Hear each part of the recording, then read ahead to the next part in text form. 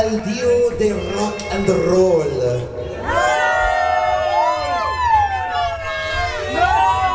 There he is!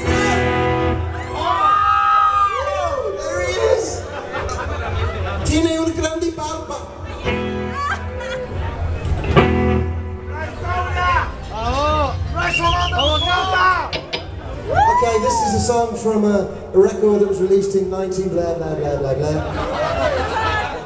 And uh, this was number one all over the world. If this one doesn't, if this one doesn't kill you, nothing will.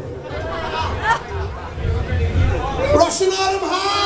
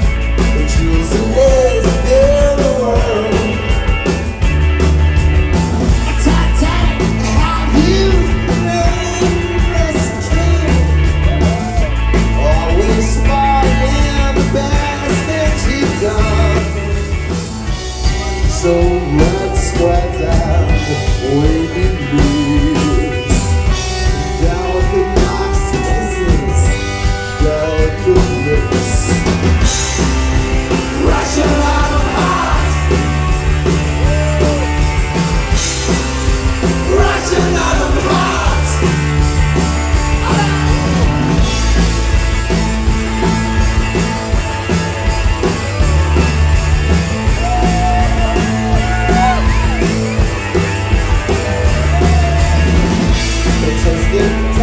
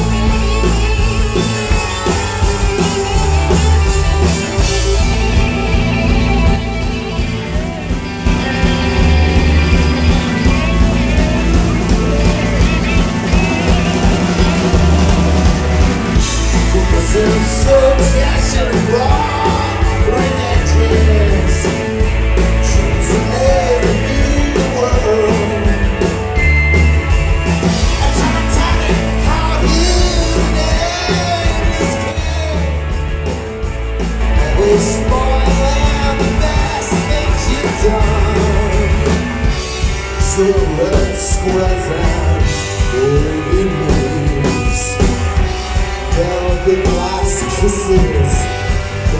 Delicate